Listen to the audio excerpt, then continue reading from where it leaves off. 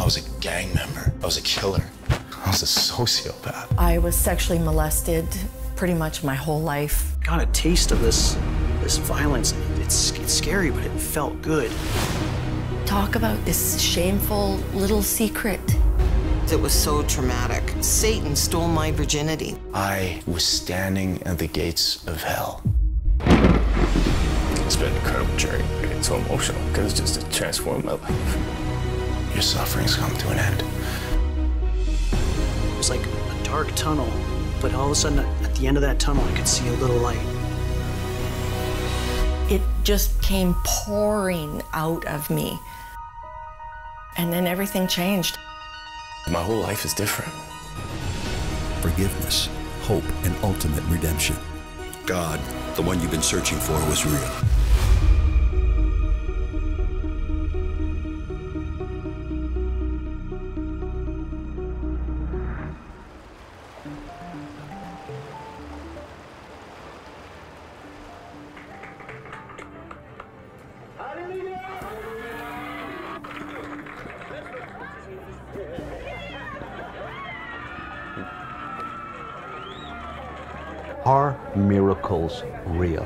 Well, I can only testify of what I've personally seen and what I've witnessed, and I have to say unequivocally, yes.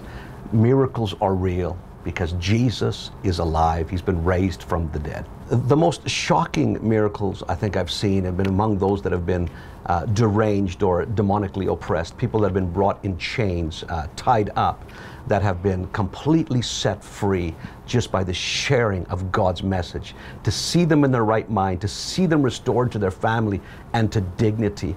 Uh, that's been, into society, that's been some of the most shocking miracles that I've seen. Now, Anthony, you're a pastor. Yes. You study the scriptures. Today, the word miracle or miracles is used by many to describe numbers of things.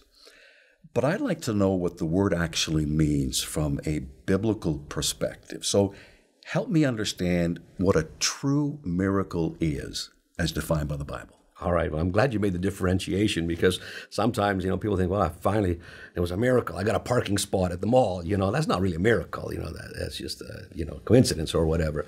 But a miracle in the Bible is the temporary suspension of natural law by the divine uh, presence of Jesus. You know, it's a, it's an act, an event where God undertakes that cannot be explained by natural law.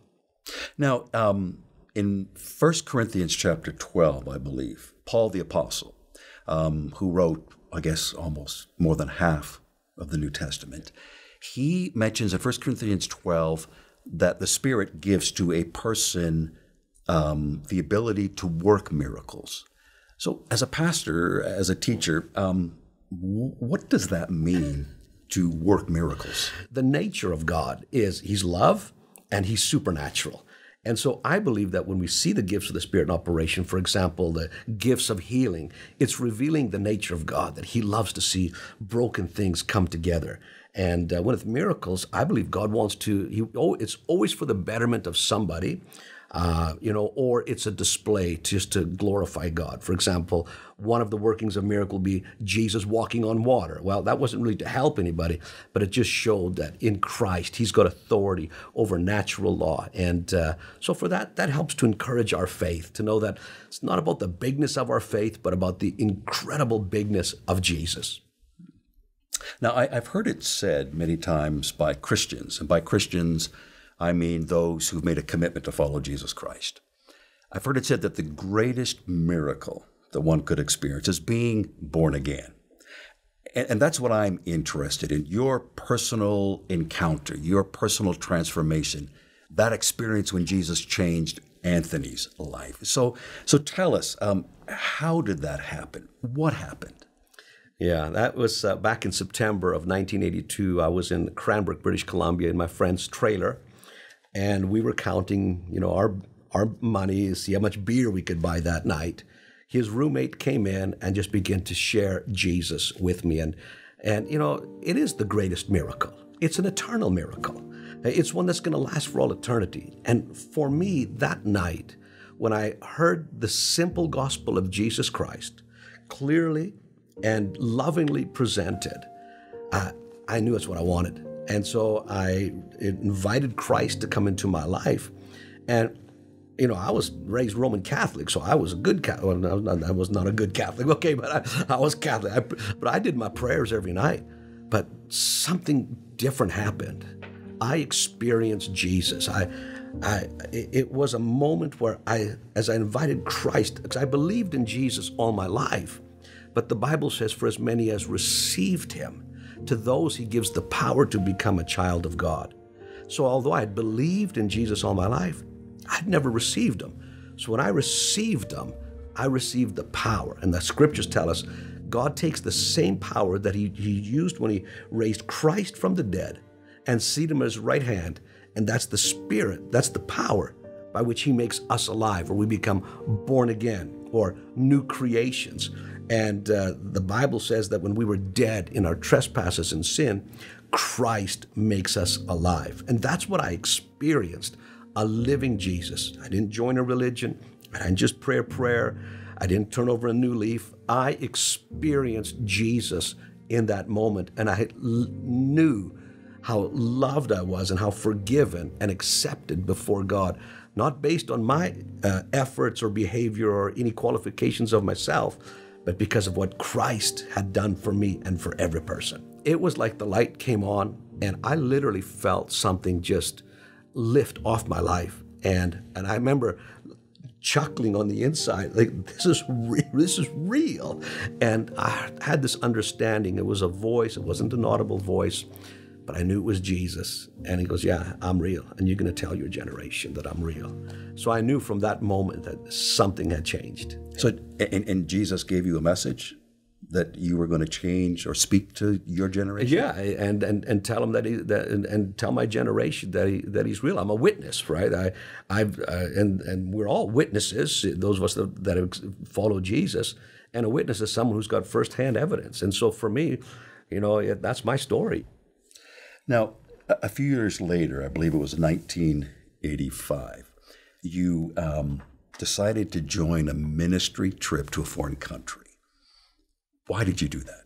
Man, I just got I got turned on for Jesus, and I felt like, um, you know, if I had the cure for cancer, would I keep that quiet?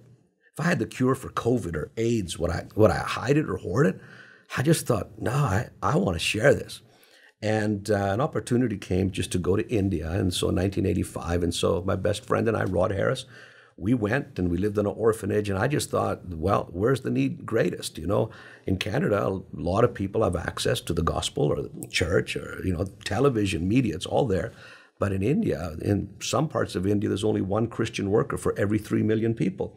And I thought, well, I want to, uh, you know, if there's, if I see 10 people carrying a pole, nine people got one end and only one on the other, well, I want to go help the guy who's got the heavy load on his side. So that's, that's why we went. So we just decided to go and work with a local pastor over there. And um, when you were there, what happened? Did you see anything unusual? Well, the pastor that invited us was arranging for a, a, a, a Jesus festival in New Delhi with Canadian evangelist Peter Youngren. And uh, I saw the poster. and So we were just there to help. I'd never met him before. I'd heard the name, but his posters were everywhere, and they were quite, you know, in your face.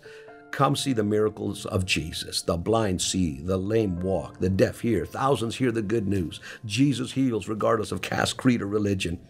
So I was like, oh, I, I, I'd never really seen uh, a, a verifiable miracle. I prayed for people that had like headaches or had a pain in the elbow, but I'd never seen blind eyes or deaf ears. So we, we met this, you know, this, this evangelist, and I said, hey, we're here to help. Uh, what can we do? And he looked at me and said, well, you got a good camera there. You can take pictures of the miracles as they happen. And he looked at my buddy Rod and said, and uh, you record them, you write them down.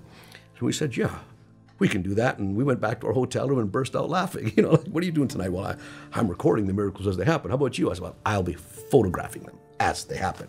we, I mean, we we wanted to believe, but it just I'd never seen it, you know. I, but I, I wanted to see it. When you started taking pictures and recording what did you see?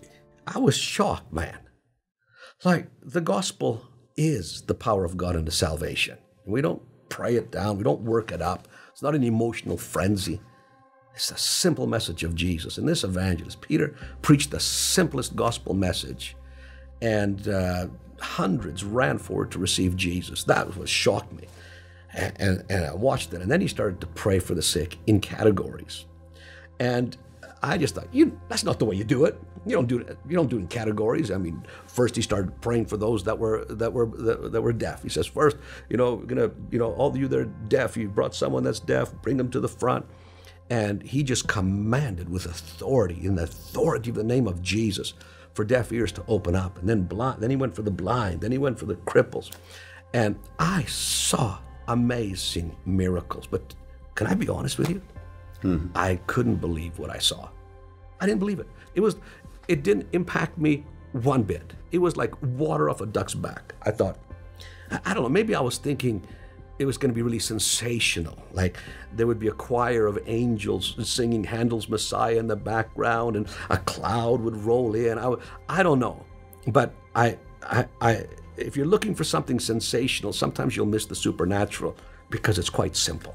So I had a, I had a crisis that night. I, I couldn't believe what I saw. So, how did you deal with that? I went home and uh, I got on my face before God and I said, okay, Jesus, you were in fine form. Peter did all right. Issues with me. What's wrong with me that I cannot accept what I just saw with my own eyes? And I realized that, you know, in, in our Western culture, we have elevated the place of reason and logic above the place. You know, our worldview is not a supernatural. We have elevated reason and logic above that place of simple childlike faith. The natural mind receives not the things of God, but yet Christ lives in my heart. Tells me that my spiritual capacity is far above my mental capacity. And so I realized in, in my mindset, in our Western worldview, is well, if I can, if I can, if it's logical, if it's reasonable, if I can measure it, I'll accept it as truth. But faith, it gets a hold of the invisible world. It sees Jesus. And so I realized that so much of my Christianity was all up here. It was logic, it had to be reasonable, it had to make sense. And if it didn't, I couldn't accept it. And so it was not so much as an intellectual thing, but it was a heart attitude. And uh, so I, I did some repenting and asked Jesus to help me to have childlike faith that night. these, these are funny. Some of the old advertising. So this is in Dharan Bazaar, which is the far eastern part, portion of Nepal.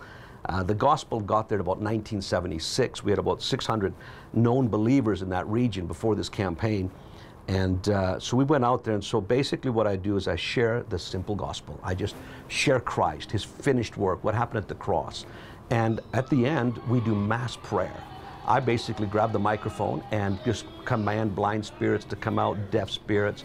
Uh, I do what Paul did in Acts 14, where when Paul perceived that the man, the crippled man, had faith to be healed, he said in a loud voice, Stand up on your feet, and the man got healed. So he didn't lay hands on him, he just spoke, he just commanded the prayer and the time that going up to the to the point where I, I, I take the podium, I'm realizing that i i Anthony Greco of himself has absolutely nothing that can qualify, nothing that can make an eternal difference.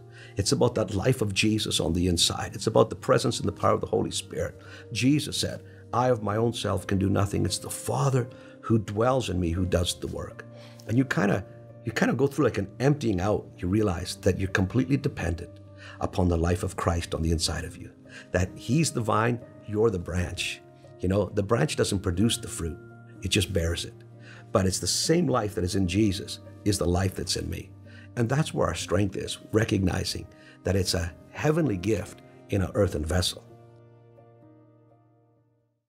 I've traveled to over 40 nations. I've spoken to people from pretty well every background, from atheist to whatever religion. And there is that desire. God has placed eternity in the hearts of men. And we need to get back to inviting people to enjoy that living relationship with, uh, with the divine, and his name is Jesus. Every day, kila siku follow Jesus. mfuate Yesu I'll live for Him. na uishi kwa ajili Live in His love. ishi kwenye upendo wake, Love that He has for you. upendo mzuri alionao kwa ajili yake. Jesus has started a miracle in your life today. Yesu ameanzisha muujiza ndani yako. It's a, a lot of fun when people realize and they see that Jesus is real, that God's forgiveness is available, that God loves them, that the powers of darkness are broken, and there's a God in heaven who loves and cares for them. Uh, it's just a great, uh, it's, a, it's a great atmosphere to be in. Na ukombozi To all that believe. Now, tell me about the people that that have been healed. Like, what what has been their response? You know, uh, when you see a family restored, when you when a father comes one night and gives his life to Jesus, you know, we had this fa- father in, in Shinyanga, I believe it was Shinyanga, it was in Tanzania, He was drunk and gave his life to Christ and went home and brought his deaf boy, and he gets healed. I mean, it's just the laughter, the joy, the tears. You know, it's it, it moves you. But all that is to these are signs and wonders and they always point. You know, a sign gives direction. We always bring it back to Jesus. The same Jesus that healed your body is the one that brings peace into your life and that offers eternal life. You mentioned the signs. Um, what about community leaders? What about government leaders? How have they responded? How have they reacted? Yeah, you know, when we go into a, uh, uh, in Tanzania, for example, we love going into the Muslim areas. We don't like going where everybody else has been. We like going to remote areas. And uh, when uh, what we do the first night is we do a, a dinner. We invite all the Muslim leaders, all the political leaders, and we have a, a friendship dinner. And I share with them. And I just talk respectfully what we have in common. And uh, I promise them I'm not going to speak against your prophet, your religion, your, your holy book. I said, I'm here to point to the person who's mentioned 98 times in your holy book. In the Quran, Isa al Masih, Jesus, is mentioned. And so I said, I'm here to lift up Jesus. And I preach the gospel. I don't compromise my message, but I let them know that our prayers will be without discrimination. If Jesus wants to heal a blind Muslim woman, no discrimination. By the end of it, they're hugging me and you know, and they're inviting me to speak in the mosque. Now, I haven't spoken in a mosque yet, I just because it hasn't worked for our schedule. And then when they come, uh, you know, we've had Muslim, Muslim clerics in Tanzania come out, hand out handbills, inviting people to come to the Jesus meeting. Then we finish by doing another victory dinner at the end with the same political leaders and the Muslim leaders, and we talk. And I, you know, the political leaders love it because we're respectful, we're not attacking other religions, we're just lifting up Jesus. And the Muslim leaders are now have seen a bunch of Muslim people in their community experience miracles of Jesus. So one sheikh in Tanzania said to me, his name was Sheikh Balilusa. He said, Dr. Greco, he said, thank you for introducing Jesus to us. Because in the Quran it says in the, the, that the, without the Injils, which is the, their word for the gospel, a true Muslim's faith cannot be complete. We need Jesus. Do you believe that, that God has, or the Spirit has given you the spiritual ability to work miracles? It's amazing because it's the power of the Holy Spirit. When you realize, I don't have anything about me that could do any of this. If it's not Christ in me, if it's not the presence of the Holy Spirit, I'm hooped, you know. And but God is faithful, and uh, he he that you know Paul said, you know, not that we are anything to think that our sufficiency of ourselves, but you know, but He has qualified us, and He our sufficiency is of God, and so that is where our strength is in trusting in the Christ that's in us. I believe it's for everybody. A supernatural lifestyle. Listen, supernatural God has supernatural children. And the fact is this miracles don't, is that divine stamp, as I said, it's not on the, on the minister. Come on, donkeys prophesied in the Old Testament. Jesus confirms his word, it's his gospel. The gospel is the power of God. That's what I'm looking for. So sometimes, you say, well, how could that person have miracles in their ministry when they lived such a double life? because God was not, a, you know, it's, it's not a, a sign and a wonder to approve the, the minister, but the message. So it's available for everybody. So bringing this home to Canada, what you've seen overseas compared to Canada, you know, there, there obviously is many weak and sick amongst us. Mm-hmm. How come we don't see the same kind of miracles, type of miracles that um, you have seen that are recorded in the Gospels that Jesus mm-hmm. performed, uh, the Acts of the Apostles? Mm-hmm I, I, you you mentioned it a little earlier, and I don't want to be um, insensitive, but you know, um, I, guess it's easy to pray for someone that's got a sore elbow, mm. you know, because it gets better and they're mm. healed, but you you don't really know that. But you know, blinded eyes open, deaf ears yeah. unstopped, or people that are crippled or lame that can't walk mm. all of a sudden can walk. How come we don't see that here in yeah. Canada? That's a great question, and you know, we definitely, you know, do see it, but not to the same, you know, level that we see overseas. And part of it goes back to the worldview, right? I think a lot of times when we go overseas, there's a supernatural worldview. They believe in the power of blessings, curses, angels, demons, the spirit realm. Uh, so in North America, you know, you're dealing with, you know, you have more of a, you know, even Jesus, when he went to his own hometown, it said he could not do many mighty miracles there because of their unbelief. And so he went in the circuit teaching. So I think we have to teach. I think the other thing that is a, a real issue here um, in North America, you know, I asked a good friend of mine, uh, Wayne Myers, he's 96 years old.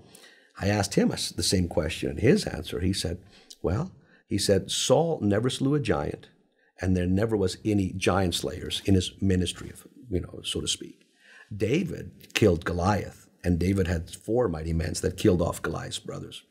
And he said, Anthony, he says, if we as leaders aren't living in faith, dependent upon Jesus, we have nothing of uh, nothing of eternal substance or spiritual substance that we can deposit, you know, in the life of our believer, in, in those of our of our followers or our flock. We must live in faith because the origin of the word determines the destination we have to be living in faith. We have to be communicating that message. And I think uh, that expectation, I think, is important. Uh, uh, miracles don't happen because people have needs, but because we expect them to happen. And I think we need to lift up our eyes and get a fresh vision of who Jesus is, because He's the same yesterday, today, and forever. He wants to do these miracles here in North America. And I just think that we as churches need to get bold, to be convinced that it's part of the scriptures, it's part of the present day ministry of Jesus, and step out and expect to see them happen. Anthony, one final question. Um, if someone's watching and listening to you right now, they need a miracle, but yet haven't received a miracle. What would you tell them to do right now? I would tell them to open up the Gospels, take their nearest Bible they can find, and just start reading about Jesus, you know, and get to know Him because He's the author and the finisher of our faith. And, you know, too often I think ministers have put so much pressure on the person, you didn't have enough faith, or maybe there's something wrong with your faith. And I, that, that is so painful. Here's someone who's suffering, they're in pain, they need help, and then you're putting that on them no, it's the fullness of the life of Christ on the inside of us. So I tell people, get to know Jesus. So just meditate on him and his life because he's the author of your faith and the finisher. Anthony, thank you so much for sharing your story with us today. Thank you. If you want to learn more about the gospel of Jesus Christ and how it can transform your life, you can request a free Bible by calling toll free 1 888 482 4253 or visit www.gideons.ca forward slash request. You can begin your journey with Christ now.